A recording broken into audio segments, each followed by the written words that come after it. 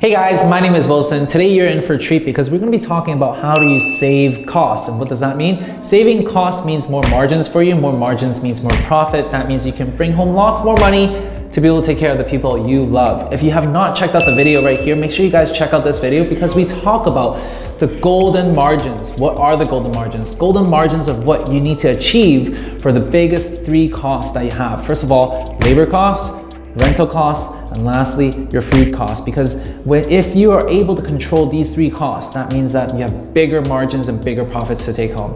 So that's the whole point of this video is to be able to help you and show you the five ways to be able to cut food costs so then that way you have more profits. Let's dive right in. The number one secret to be able to save food costs is to track it, okay? A personal story which I'm gonna share with you is the fact that before we started tracking our food costs, we were actually running around 35 to $50,000 in revenue and we thought we were making a lot of money. But in the end, the money doesn't really show up in my bank account and I really don't know why. And it is because of the fact that I didn't track my numbers. Ever since I started tracking my numbers, then I started to understand where my money actually went.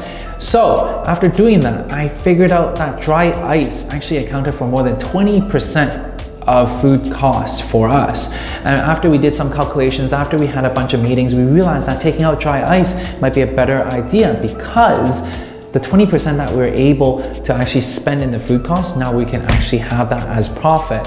We did a test run and in turn, just because we took out the dry ice, it didn't affect our sales and our revenue. So what that means is that that 20%, which equates to around $2,000 per month, went back into our pockets. And if I did not track, I wouldn't know where my money went. I wouldn't know which levers to pull. That's a prime example of why you need to be able to track your food costs. And in addition to that, after the fact that you started tracking your food costs, you know where your money is going.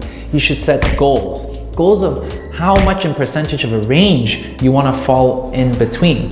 Typically speaking, 25 to 35% is a good range for cost of goods sold, depending on the type of offering that you have. Some might be having higher cost of goods sold, others might have lower cost of goods sold. I'm giving you a generalized number so you can actually have this to aim for. So for us, before we started tracking, we're hitting around 40% in cost of goods sold. We're talking about cones, we're talking about uh, our ice cream base, milk, all these crazy things that accounted for 40% of our revenue. So what that means is if we sell $10 in ice cream, $4 of it goes to our ingredient cost and we're trying to like understand why is that the case because everyone else is having such low in food costs like all my other friends and peers. So then we started starting to track our progress, started to track our sales, started to track our costs, and that's when we realized there's a lot of improvements that we can make just by taking out dry ice alone. We were able to save so much. And then we started switching out different suppliers because our cones we were buying from a premium supplier which overcharged us like crazy. And at the end of the day, we switched it to another supplier who has equally of a quality product but they were being a much more fair. And in turn, we were able to drive our cost of goods sold down to 25%. And this huge gap in that 15% in cost of goods sold became our profit. And that's what is so important for you to be able to track your food costs in order for you to know which lever to pull to cut that down. The second secret in cutting food costs is to forecast your sales. And what I mean by that is in the food and beverage industry, we have all these kind of waves, okay? We have peak holidays and slower days. So we're, as business owners, we need to be able to read into when is it that we have all these peaks and when we have the peaks, we need to be able to order enough ingredients to support the sale that we're going to be able to hit. So if you've been running a business for a while, then you can actually forecast this and you, you need to be able to track this. And the reason why you want to be able to do that is because you want to make sure that you capitalize on the holidays and order enough ingredients to be able to support the output that you have during these holiday seasons. However, during the slower times, you need to also forecast and budget for the fact that you're gonna order less ingredients so then that way food doesn't go to waste. At the end of the day, it is super, super important for you to be able to forecast your sales. Even if you don't know, try your very best to do so because any food that goes to waste are your profits, right? So if you do not want to throw your money into the drain and into the garbage, then make sure you start forecasting your sales. Even if you're just starting off, try to think about, hey, you know what? If it's summertime, are we gonna sell more ice cream or less ice cream? If it's raining and it's in the wintertime, are we gonna sell more ice cream or less ice cream? And because of the fact that it's wintertime, we're gonna order less milk because we're gonna produce less uh, ice cream.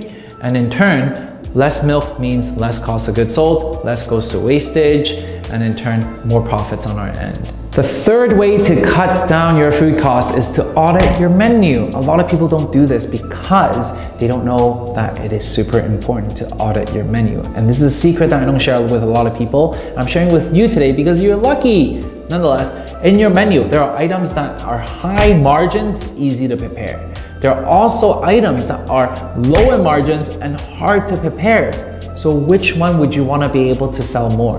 Obviously the one with the high margins and easy to produce. Yet, so many different business owners out there also have a lot of items that are high and or low in demand and high in preparation time, low in margins. And yet they have to keep buying these items to make sure that they have they have these items to serve when people order them. If you think about it, why would you even have that as an option on your menu? You would take that out altogether because of the fact that they are high in preparation time and low in margin. So make sure you guys audit your menu.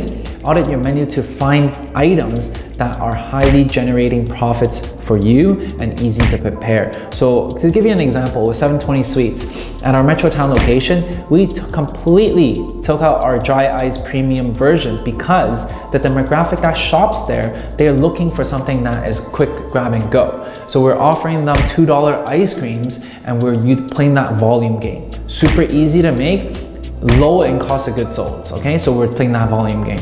Whereas if we were to continue to serve our full service item, it takes around two, three minutes to make this item. And on top of that, the cost of goods sold are really high.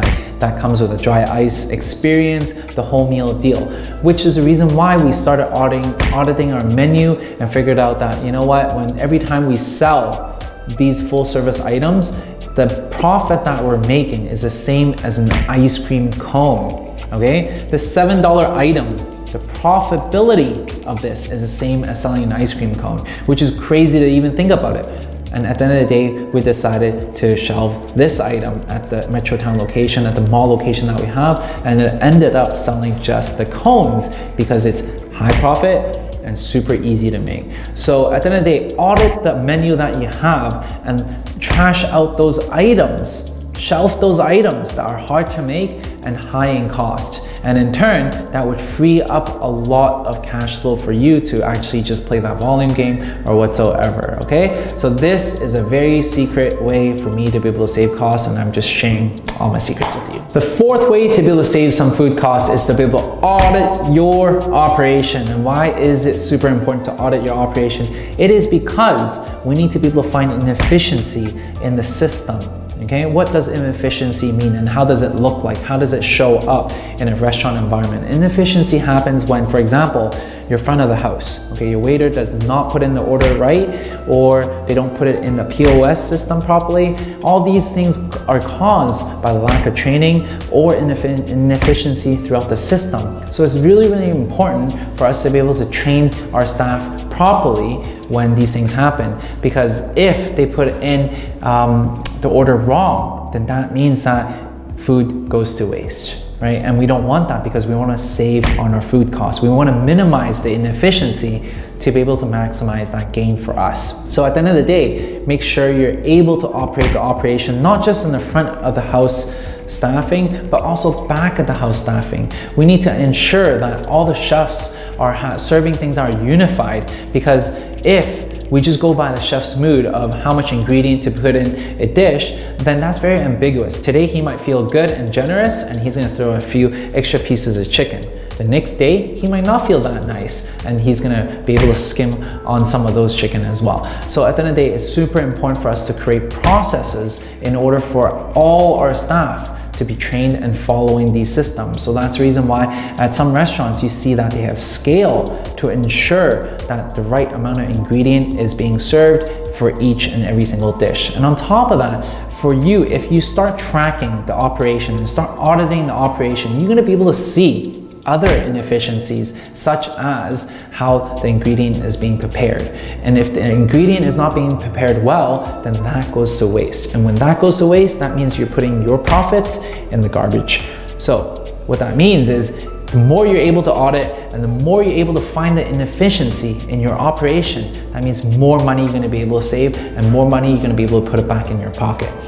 At 720 Sweets, we have very, very strict training and procedures that we follow because we need to ensure that maximum profitability for us. Ever since we started tracking our food costs, we started to realize that our ice cream cones are either this big or this big or this big. So at the end of the day, what did we do? We started to implement a scale system. So we put a scale there and we allow and we tell our staff for every swirl, three swirls, that means two, 180 to 220 ml of ice cream that we're serving per cup and per cone.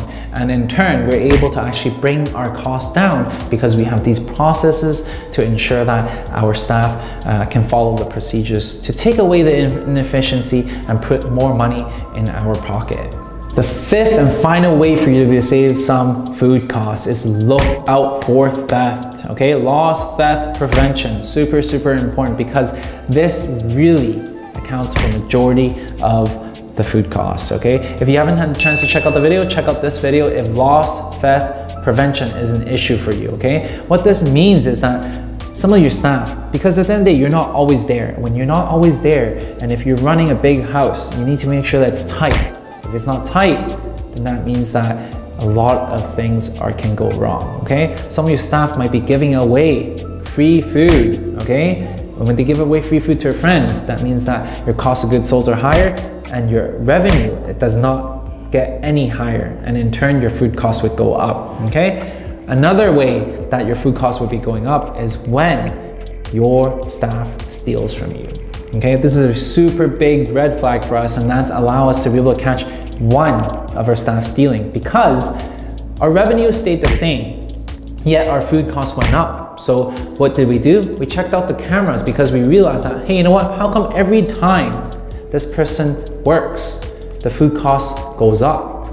They either are giving away a lot of free food or what they do is they sell the food and they don't put the revenue back into the till. And in turn, we found out that he was actually stealing by just looking at our food costs. It is crazy the amount of information that looking at the numbers are able to tell you, which is the reason why this is point one, track your food costs. But nonetheless, if you're able to be able to track your food costs and look for people that are um, these lost theft preventions and to prevent that from happening, you're gonna be able to save a lot of money because in the food and beverage industry, our margins are already slim to none. So if you have processes to be able to prevent these things from happening, you're basically putting a lot more money into your prof your pocket. And these are the profit that we're talking about. So at the end of the day, when you want to lower your food costs, make sure that you look out for loss theft prevention, either from people that are stealing from you or comping. Make sure you guys track your numbers and look for loss theft prevention. So there you go, the five ways to be able to cut some food costs.